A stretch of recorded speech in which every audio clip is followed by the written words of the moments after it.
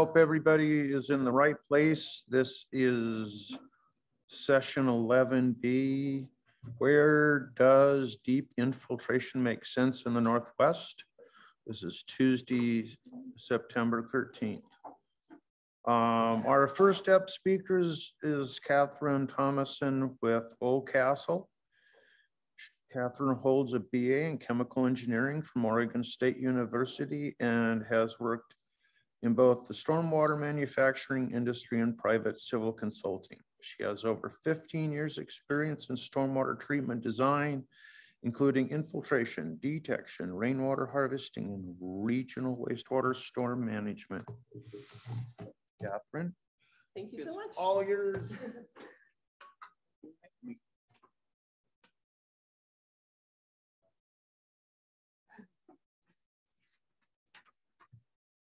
Thanks for the intro. I appreciate it.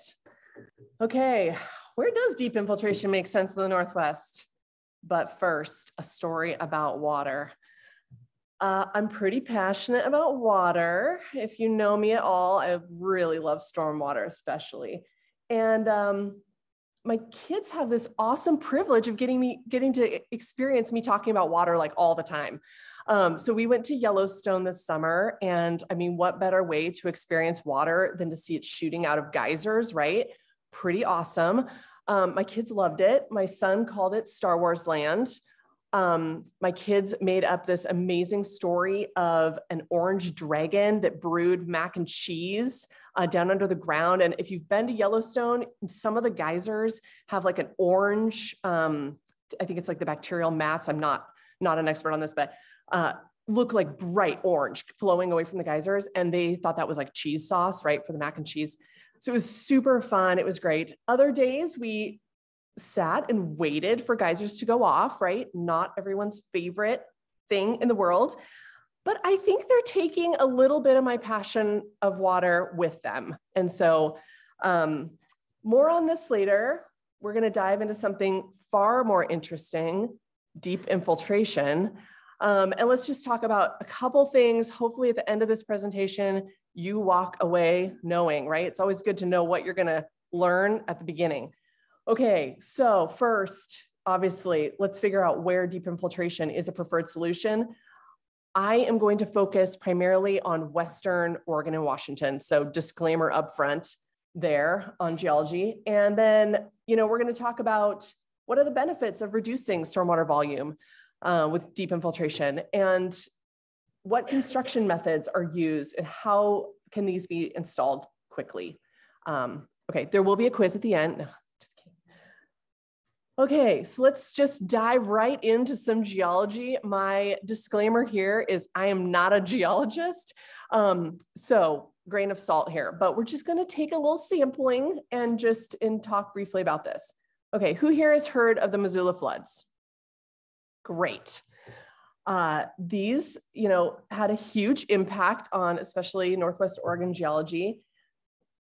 Just as a recap, Missoula floods happened around 12,000, 15,000 years ago. Um, huge ice dam, right, blocking the Clark Fork River. And that ice dam would fail, resulting in these floods through Montana, Eastern Washington, through the gorge, out to the ocean. How many times do they estimate that the Missoula floods happened? Oh, come on. Just at least someone guess here. Five. Okay. Two. Any other guesses? 80. I love this. Anything else? One. Okay, great.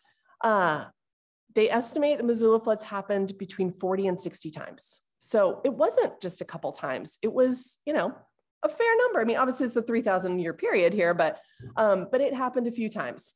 So you can imagine this picture here is, if you're familiar with the gorge um, in Oregon, that is Crown Point. And during the Missoula floods, they estimate that the water level in the gorge here around there was 700 feet deep, right? In the Portland area, 500 feet deep.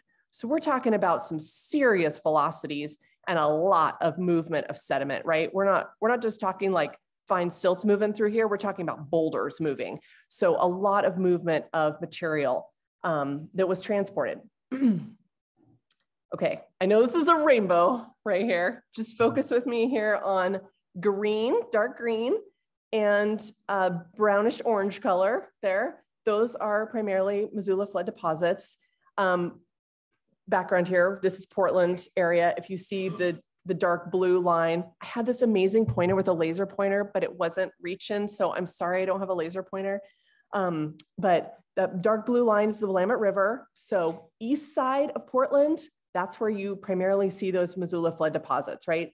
West side of the river, a lot of basalt, a lot of steep slopes, not usually very conducive for deep infiltration. But on the east side, that's where oftentimes um, you can hit those Missoula flood deposits. Here is a snapshot from Oregon DEQ's registered dry wells. What do we see here? Uh, not surprisingly, where are dry wells located? On the east side of the river, right? There's the river, there's the east side, that's where the Missoula flood deposits are. You know, you've got plenty in Gresham, um, there's some in Lake Oswego. You know, there's there's obviously lots of areas that have um, these these deposits and, and can be good, but east side is where we ultimately see a lot of dry wells. Dry wells are not new. Um, let's talk a little bit about Washington here. So this is kind of Seattle area moving down to Olympia. That picture there is the Puget Lobe ice sheet, which was one of the last large glaciers that um, came down all the way to the Olympia area. And we're talking about a glacier that's like 2,000, 3,000 feet thick, right? Huge glacier. Um, and these glaciers would advance and they would retreat, right? And as they're advancing and retreating, they're depositing different things. Um, and you know that that made a, a huge difference in the Seattle surrounding area geology. Another rainbow chart. Hang with me here. Okay, so purple, that's till, typically not great for infiltration, right? There's a lot of purple on that graph. This is kind of Seattle metro area. Um, but blue, that is the advanced outwash deposit. So that as the glacier is advancing, it's depositing what you know, is often this well-sorted sand and gravel. Um, those can be great for deep infiltration. And then as the glacier was retreating, it deposited those or orange deposits, the recessional outwash deposits. Um, and those can also be good for infiltration, but they're typically shallower. So we're not talking great for deep infiltration. But one thing to note here, there's a lot of purple on this um, map. And in the higher elevations, what you find is that beneath that till layer is that advanced outwash deposit, um, which is great for deep infiltration. So if you can get through that till layer, you have the opportunity um, in some of these areas with deeper groundwater to, to infiltrate. Okay, let's just walk through a few Washington drywell regs. Um, the easiest path for drywells is if they're not considered deep. However, ecology the word deep doesn't really have a lot to do with the actual depth of the dry well. It has everything to do with um, not hitting a confining soil layer in the vadose zone. Okay, so that's the key here. And it's all about getting your geotech involved, right?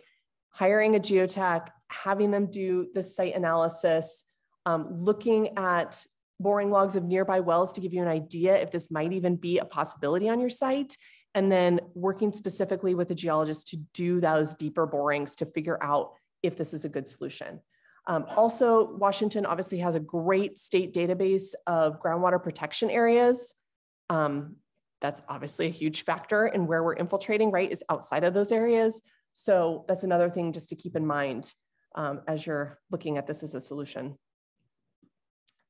Um, ecology also has a great graph that kind of represents what type of treatment you need upstream of dry wells.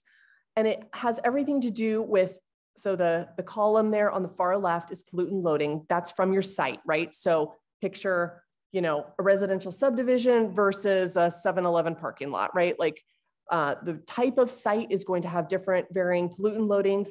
And then along um, the horizontal axis there is treatment capacity of your soil. So let's just look quickly here. Pretend like you have a site with medium pollutant loading and the treatment capacity of your soil is somewhere ranging between zero and medium.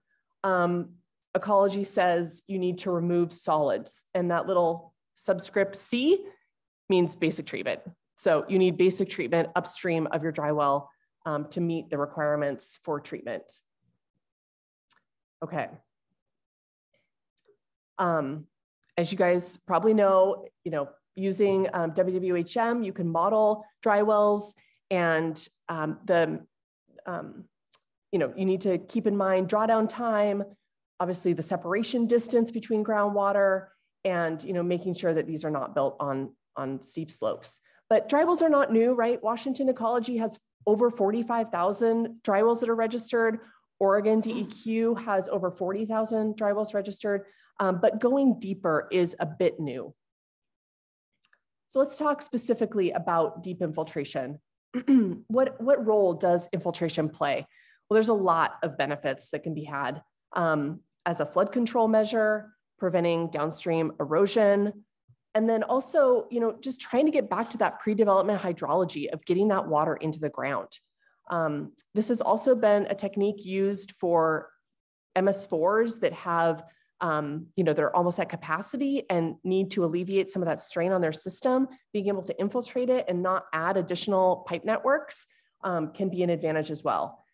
Specifically with a dry well, being able to bypass that upper confining layer that we talked about uh, can be a huge advantage to getting into some of those deposits that are really great for deep infiltration. Also, they obviously have a very small footprint um, and can be used in retrofit situations. So we'll talk about that in a minute. Okay, uh, any uh, scuba divers in the room? Yes. Okay, so usually when I talk about this, the scuba divers are like, yes, because um, pressure increases linearly with depth. And if you experience that personally, right, going down deep into water, you really understand what that means. But it really has a huge effect on infiltration. Um, if you know, if you have 69 feet of depth, say on a dry well, you've 30 psi pressing down. So that really can have an impact on increasing the infiltration and reducing the number of dry wells that you need. Okay, so let's talk about some deep infiltration strategies. Uh, there's a lot of different drywell types, right? I mean, I'm sure you all see this in your daily designs. Um, the upper uh, graphic there shows City of Portland's kind of standard sed manhole and then dry well combo. Um, you know, these can be very simple as in, you know, a borehole with just filled with gravel. Um, but oftentimes they're not easily maintained and they don't have a, a pre-settling component built in. So um, Oldcastle purchased a company called Torrent Resources back in 2019. Torrent is a licensed contractor and really started as a drilling company back in the 70s. Um, and they work worked primarily in Arizona and Southern California, but this is where we are starting to look at where this makes sense in the Pacific Northwest. Um, but they are a licensed contractor in Oregon, Washington, Idaho, and kind of surrounding states and have installed more than 100,000 dry wells. Um, so they came up with a technology called the Maxwell. And it's called the Maxwell 4 because it's been through like four iterations of changes to get to the point it is now. Um, but what sets it apart is that upper 15 feet where you see kind of that orange manhole section offers pre-settling. So the water's coming in either through a grate, like you see there, or through an inlet pipe. And it actually has to spend some time, there's some residence time there, uh, where it needs to settle out in that manhole section before it fills up. Um, there's a hydrocarbon pillow shown there in orange. And then it has to go under a screen, or sorry, under a floatables baffle and through a screen to get to the pipe that then directs it down um, into the clean washed rock layer below. Um, the thing I don't love about this graphic is it looks like the manhole is floating in space, which is not. There is rock under that. And the next graphic I'll show you better illustrates that. Um, but that bottom 10 feet is a slotted well screen um, to be able to release that water into the, the washed rock layer. so obviously the number of dry wells is gonna vary um, depending on obviously your location, the modeling and, and your site conditions you know, what that infiltration rate is. Um, if you're using WWHM, like we mentioned, or if you're in Oregon using HydroCAD and modeling that way. but um, but this is a, uh, a technology that allows you to go quite a bit deeper. Um, this is the Maxwell Plus, which basically incorporates what most of you would probably call a sed manhole upstream. Um, so on the left-hand side, the water's entering and it again has to spend some time settling in that manhole. And then there's a slotted well screen um, to a crossover pipe that then directs it to the Maxwell, uh, where it again has to spend some time, uh, some torturous time in that manhole section before it can go down into uh, the clean wash rock layer. So being able to incorporate pre-settling upstream really helps with the longevity of these systems. Maintenance, right? Always the question. You can't drill a dry well that's 100 feet deep and expect to be able to maintain 100 feet deep, right? You, you, that's not feasible with a vac truck. So that's really the, the key of the Maxwell is having that upper 15 feet that is that solid manhole section and being able to vac out that section. Um, so, you know, you can see in that upper picture, if you're at say a, a mini mart type of location with a lot of cans and bottles and things, it really traps all that as well as trapping sediment um, and debris so that it doesn't get down into that clean washed rock layer where you want to protect those void spaces and you know keep this drywell working for a really long time. Um, the maintenance cycle varies. Two to three years is what we see, but it, it clearly depends on the loading from the site, right? A residential subdivision is going to have different loading than you know a, a highly trafficked uh, commercial site. So you want to take that into consideration. We definitely recommend once a year inspections so that you can get an idea of what that maintenance frequency is going to be. And then using a vac truck to remove um, those materials. okay. Another thing that's unique about the Maxwell is being able to target where you want to infiltrate. Um, what we do here is, is vary the slurry depth to really target infiltration rates or target infiltration um, zone. We recently installed a project in city of Portland with 25 feet of contaminated soil. And under that contaminated soil was great Missoula flood deposits and, and deep groundwater. Um, so what we did there is we drilled through the contaminated soil, um, installed a casing and a bentonite plug, and then drilled within the casing down into those native soils. We weren't pulling any of that contamination down, um, down to our final depth, right? And installed the Maxwell there. And we installed slurry, um, you know, past that contamination zone so that we were just targeting infiltration in that lower zone where, you know, where we wanted to have water going into it. Uh, this is also applicable if you're next to a foundation where obviously you don't want to infiltrate within a zone of influence there. So being able to target where that slurry depth is so you really are, are infiltrating where you want to be adding water um, is a nice feature of the Maxwell to be able to, to do that. Okay, let's talk about how these are installed. Um, typically, we mobilize after rough grading, and you'll see the drill rig there with the auger. Um, it typically takes us two to three days to complete a dry well. And you know, ideally, we do come in kind of at the beginning of the site um, to be able to install these. The first thing we do is use a four foot diameter auger to install that um, drill hole all the way down to the final depth, whether that final depth is 30 feet, 50 feet, 90 feet. Uh, we're gonna go down with a four foot auger to that final depth there. Uh, and then we'll come back either with a reaming knife, which is shown on the left there, or a six foot diameter auger and create that upper portion that is where we're gonna see that pre-settling manhole um, be placed. Next step, installing geotextile fabric. We install that inside our borehole um, to make sure that we're not seeing that fines migration um, from the existing soils into our clean washed rock layer that we want to be, you know, specifically for, for infiltrating.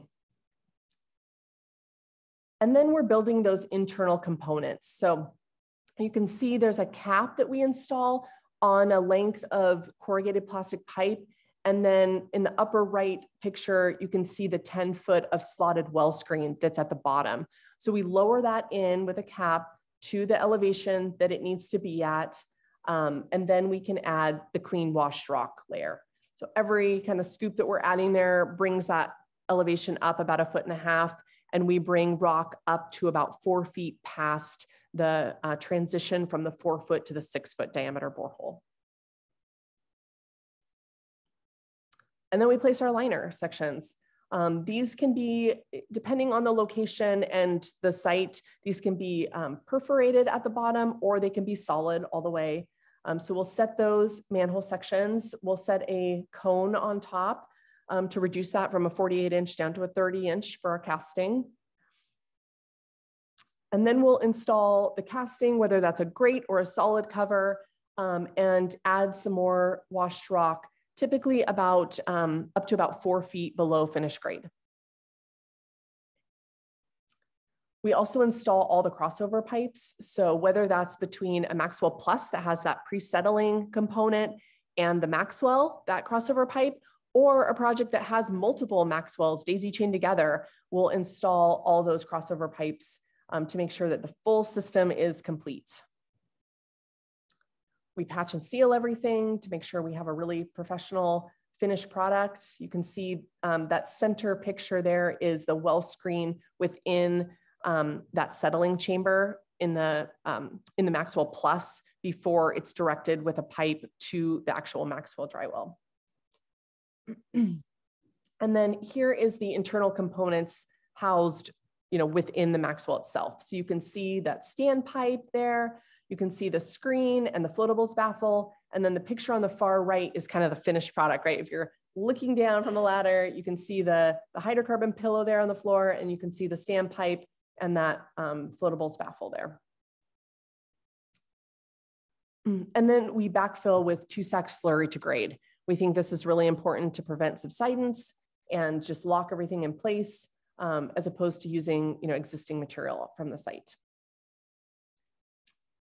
Um, if it does have a graded top, we always put a geotextile fabric on top of it. And um, this really is important. I mean, just beyond the geotextile fabric, whenever you're installing a drywell, protecting it during construction is really critical, right? Uh, we've all been on job sites where there's like a chocolate milk river coming and you're like, no, don't go to the drywell, right? So, um, you know, construction runoff is, is known to have really high um, very small particulates, the really turbid water, um, and we just don't want that entering the dry well before the site is stabilized. So it's really important to protect these, um, keep them offline until the site is stabilized and really ready for that post-construction runoff to enter it. Um, we also perk test the dry wells after the, they are installed uh, we think this is really important to get you some actual data of how these are performing. We do a constant head test where we bring up the water within that upper 15 foot um, settling chamber and we dial the flow to maintain a constant uh, water level so that we can accurately you know, look at what that infiltration rate is going to be. Um, and oftentimes, you know, because what we talked about with head, right, because these are typically deeper than your standard 20 or 30 foot deep dry well, um, you get to take advantage of that head component when you're looking at that infiltration data. Um, so my, my plug for geotechs here is, um, you know, if you can hire a geotech in that early stage of your design and have them do deeper borings, it just gives you another tool um, to look at, right? If they only do borings at 10 feet deep, you will not know if this is even a possibility on your site. So being able to have that data early on really gives you just more options to look at to see if if something like a deep infiltration system is is a good solution, right? Um, so plug for the geotechs. Um, okay, let's talk about some case studies. This was a project in Portland that we installed at the Westminster Presbyterian Church. Um, this church wanted to do some building expansion and projects, and the city of Portland was like, that is well and good. Once you uh, you know take care of that parking lot of yours that's super old and outdated and doesn't meet any of our stormwater requirements or landscaping requirements. So they were like okay yep that's our next project. Um, so they had a parking lot that held about 99 cars and ultimately you know the goal was keep as many parking spaces as possible right um, and still meet City Portland's requirements. And so deep infiltration, they're on the, the northeast side of the city. Um, deep infiltration, you know, began to, to be talked about and they did some borings and discovered, hey, we're gonna hit some great deposits here. This, um, this is a good solution. This will save us a lot of space and be able to, um, you know, get that water into the ground. So here is, you know, just, you can see the, the truck arriving with some liner and pipe material. That bottom picture shows you, you know, once it's finished, all you see is the, the manhole covers on top, right? So um, really minimal footprint. They did have a biofiltration um, design as well, treating some of the stormwater uh, before it went to the dry wells. And then in that middle picture, you can see the perk test starting. okay, let's see if this works here. Um, so this is boring, right? Um, doing the boring first. And what we found is, um, I know these are really small, uh, just looking at these, uh, the well logs there, but um, what they hit was that SP and SW soils, um, sands, right? They hit sand layers, which was great for infiltration.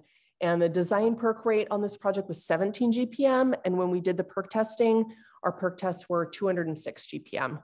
Um, so even with, you know, the factors of safety that are necessary, we were still well, well above uh, what was required. Another recent installation we did was at the Annaman Affordable Housing Project. Uh, this was originally designed with 10 30 foot deep dry wells, and we were able to propose using five 50 foot deep dry wells um, and you know basically save them all that area of, of intrusive construction work. Um, also being able to target the installation with drill as opposed to excavating a large area was helpful on this tight site. Um, so those are some of the, the things that can, you know, other possibilities in the design world when you can look at going deeper. Um, these are hard to see. I wish in a smaller group, I would pass around these bottles, right? So you could take a look at this. But it was really interesting to be there during the drilling because uh, when they went through that first 17 feet, on this particular project, we used a a bucket rig, which um, is one that has basically kind of solid sides and then a opening at the bottom. And so you pull it out and then empty the bucket, right? And in that first 17 feet, it was like, right, as it was coming out, because it was so, it was just like this clay layer.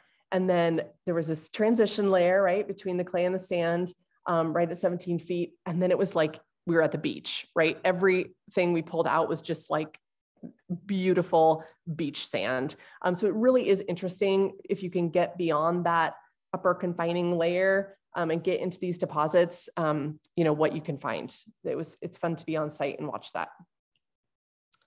Okay, this was a project we installed in the city of Gresham. Um, so city of Gresham is located just east of Portland and they are, let's see, their MS4 watershed is about 15,000 acres to give you some perspective. Um, and they are growing like a lot of Northwest cities, right? And their MS4 is near capacity. And so they were looking for solutions. How do we alleviate some of the strain on our MS4? Um, and they hired a company called GSI, uh, a geotechnical firm, to do borings around the city uh, to see if deep infiltration was a possibility. And so they, you know, GSI first looked at groundwater depths um, that's you know a critical factor when you're looking at this. Gresham has some great Missoula flood deposits, but they also have a perched groundwater layer um, because of a confining layer upper in the upper um, portion. And so you've got to get beyond that confining layer before you can get into the Troutdale Formation and, and some of those really great deposits. What they found was that on the east side of the city, groundwater depth was 20 to 30 feet deep. But on the west side of the city, groundwater depth was 80 to 90 feet deep. And that meant almost 50 feet of unsaturated zone um, that was perfect for deep infiltration. They also looked at water well locations, right? We wanna be outside of 500 feet from a water well, outside of the two-year time of travel, so that was critical. Um, and they looked at the hydraulic conductivity of the soil to find the best location. Um, another just side note is when they were looking at sites to do these borings and, and discover um, you know, the place to install this, they looked at uh, residential, right? Because residential has the least likelihood for a spill.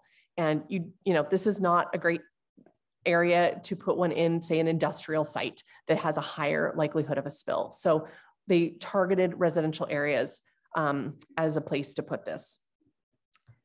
Making sure that we're protecting groundwater and drinking water is critical, right? So the more space you have between the bottom of your dry well and the groundwater elevation, the more treatment you have. And, you know, just again, keeping it in a residential area is ideal from that perspective as well. Um, okay, so then this is just a portion, a snippet from the plans of what went out from the city of um, Gresham's plans showing the, the Maxwell option. And in, you know, within um, this particular site that GSI identified was going to be a good location, they did have that perch groundwater layer about five feet below finished grade. So they did some dewatering on the site before construction. And then we also installed, we drilled down 10 feet and installed a casing um, slurried around that so that we didn't have any of that perch groundwater coming in onto our auger flights as we were uh, removing material. So then we were able to drill within that casing down to the final depth. You'll also notice on here, I wish I had my pointer, but um, you've got a, a two inch pipe that is um, kind of unique in this particular application. And I do uh, highly suggest that on city projects where you wanna do additional monitoring in the long term, right? Because that allows you to put a pressure transducer down and do infiltration testing um, you know, for the life of this system and see how it's doing. Another very unique thing about this particular site was um, this uh, was right in the middle of a residential street, right? And obviously there's existing utilities, right? So um, there was a gas line on one side and a 24 inch storm main on the other side. You can see there in red and green. And they were about 10 feet apart. Um, so not a great application for an excavator to come uh, install dry well, but a great application for a surgically drilled dry well, right? Right in between those utilities. What we did find when we actually went to install this is that that gas line had been abandoned, but we didn't know that when we were doing our design work. Um, and, and this ended up, you know, still being a great location because we could go right in between those utilities. This also had an impact of, you know, not having such a large excavation area that would have increased road closure times and also, you know, reducing those long pipe runs. Um, in Washington, this is an example of a project we installed in Kirkland. Um, this was a women's shelter where we built two 50 foot deep Maxwells. You know, we talked about ecology's requirements for treatment upstream, and this did require enhanced treatment. So they were using the biopod upstream of that to meet enhanced treatment requirements. This also had some underground detention um, and then two Maxwells. And the design perk rate on this was 0.15 CFS and the actual perk rate was 0.5. So again, a, a much, um, a huge advantage there of once we had these installed.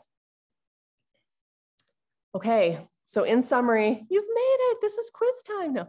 Um, in summary, you know, being able to help with flood control, um, being able to, you know, hopefully eliminate strain on some of the MS4 systems when these are installed in, in public areas where they can be retrofitted, um, reducing those long pipe runs, hopefully reducing CSO events, and then with dry wells specifically like the Maxwell, being able to bypass that upper confining layer and get into those really great soils below um, is a huge advantage with a small footprint, simple retrofit, and also maintainable. Okay, back to uh, my Yellowstone uh, story here. So my children do not fully comprehend what all of us in this room are here for, right? Protecting this precious water resource.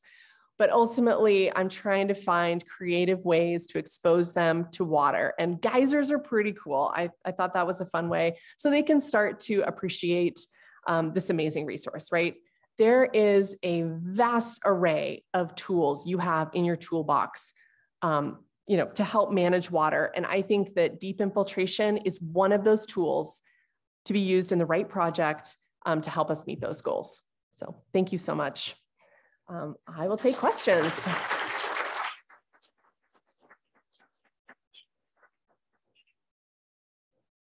Um, I saw your hand first. I'm just kind of curious on, on the last uh, case study you, you showed that your design um, infiltration or perk was a lot less than actual. You had opposite happen where your actual perk rate was more, or excuse me, less than your design to where potentially overflowing that manhole. Yeah, I mean, every site is unique, right? And that is what's so amazing about, you know, my my expertise level lies mostly in Western Oregon and Washington, but the geology varies considerably, right? Even within the same site, as we know. Um, it's really important if you attended uh, Scott Kindred's talk earlier, you know, to, to have multiple spots on your site where you're testing so that you can accurately predict what you're going to find. Um, but yes, I mean, there's definitely been some sites we've installed where we didn't reach the, the perk rates that we thought we would reach.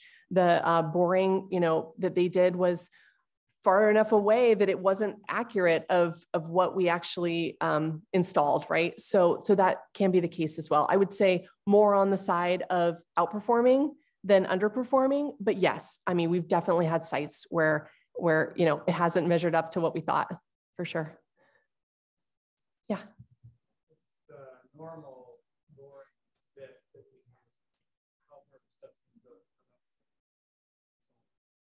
Yeah, are you from City of Bend? Redmond, yeah, yeah. So um, we are actually working with City of Bend right now on a pilot project um, where we're going through uh, a tuff layer and fractured basalt. Um, it's kind of a new thing for us. We do um, some what we call hard drilling in Arizona through caliche, but we have not done um, a lot of drilling through hard rock like basalt. So this pilot project, we're really looking forward to working with Bend and and seeing how this works and, and what equipment we need to learn from to we're actually working um, in conjunction with a local drilling company that has more expertise in drilling through basalt than we do uh, to learn and, and figure out what what's the best approach there. So yes, we are hoping to do more work in Redmond Bend area, but we need to uh, you know learn first and make sure that, that we've got the right equipment to do it. Yeah. Mm -hmm.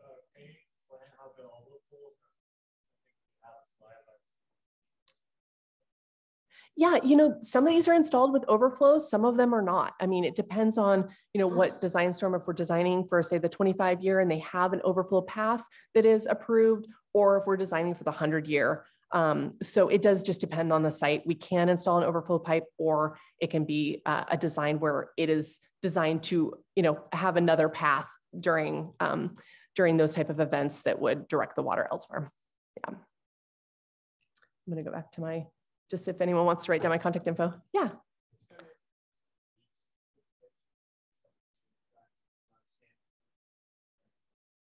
Mm. Yeah, you know, we install a lot of these in Southern California, um, and we have run into some sites that have such um, such such sandy material that doesn't that's prone to caving, uh, that it creates what I like to call kind of a thermometer bulb effect at the bottom. So there's been cases where we haven't reached the depth that we thought we would reach, say, you know, a project that was supposed to go 60 feet deep, and maybe we only end up going to 40 feet before we start to see that thermometer bulb. What we found though is, is when we do reach those type of caving conditions like that, that when we do the perk test on that system, that's when you're reaching those soils that can take an enormous amount of water. And so typically when we do the perk test, we are far exceeding what is required and we don't have to drill deeper. Um, but yes, that is a consideration. We have had projects where we've um, needed to case more of it to prevent, um, you know, caving of the hole. This will be our last question. We have one minute. Uh, what's the, the thinking as far as like what happens at the life cycle. you just have to abandon the deeper part of it. Yeah.